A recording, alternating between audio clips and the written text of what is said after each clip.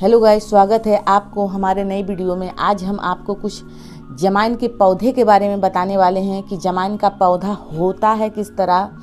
तो ये देख सकते हैं, हमारे हाथ में आपको जमाइन दिख रहा होगा और इसी का दूसरा भाग है जमाइन का पेड़।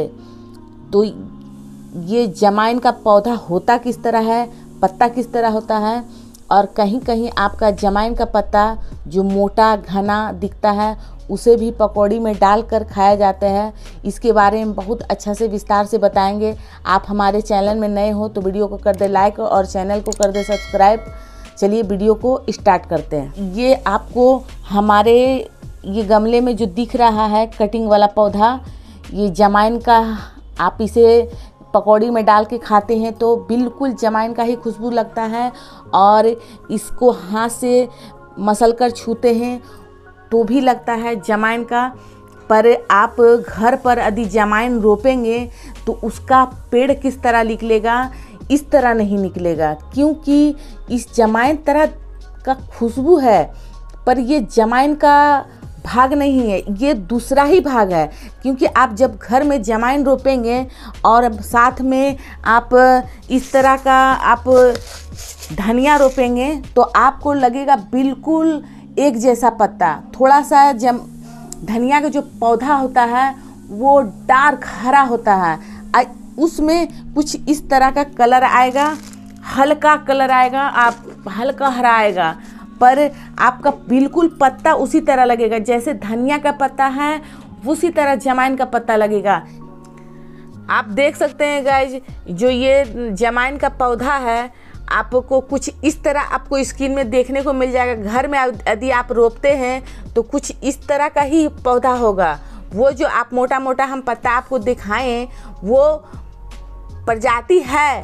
पर जमाइन आप जब भी रोपेंगे तो आपका पौधा इस तरह देखने के लिए मिल जाएगा।